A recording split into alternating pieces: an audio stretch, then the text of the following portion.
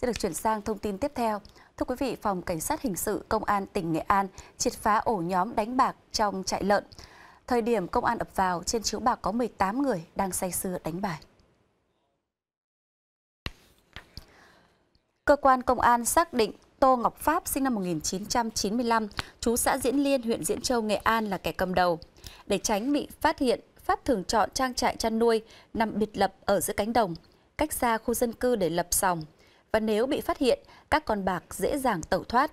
Và trước khi vào sòng bạc chơi, Pháp yêu cầu tất cả các con bạc phải giao nộp điện thoại cho mình. Thời gian đánh bạc thường chỉ kéo dài trong khoảng 2 giờ. Trong thời gian này có người canh gác từ xa nhằm đảm bảo không để cho người lạ xâm nhập. Vào ngày 7 tháng 3, cơ quan chức năng xác định ổ nhóm của Pháp đang đánh bạc tại trang trại của Phạm Khắc Lộc, sinh năm 1984, thuộc xã Diễn Liên, huyện Diễn Châu. Phòng Cảnh sát Hình sự phối hợp với Công an huyện Diễn Châu tiến hành ập vào bắt quả tang.